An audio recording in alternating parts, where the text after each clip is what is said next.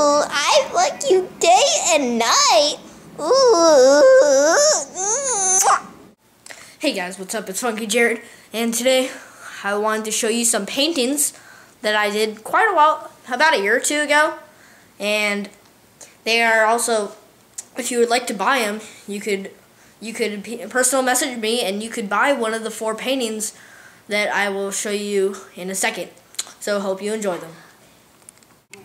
Alright, the first painting I have that I made for sale, that I, well, I could sell if you would like it, is Niagara Falls. And as you can see in the, right there in the corner, I did sign it.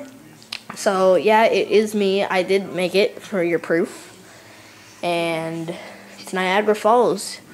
I've been there a couple times. Awesome place, beautiful place. So I painted it. Next painting. And this painting is another acrylic painting. And by the way, the Niagara Falls is acrylic.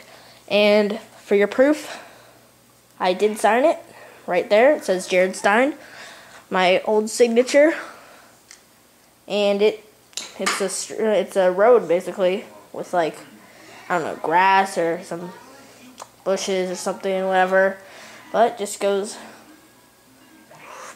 and there's a sky. So um, PM me on YouTube if you would like this one.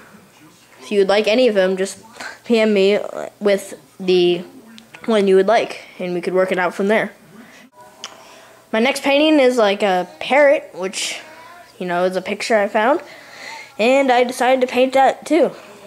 Right here, I have, as you can see for your proof, yeah, it's mine. I did paint it, and it even has the date. It says 11 11 09. So it was painted quite a while ago. So, so, yeah, that's Thought it was pretty nice. If you would like that as well, personal message me. Next painting. This next painting that I have for sale is a painting of a Dalmatian that I did a while ago.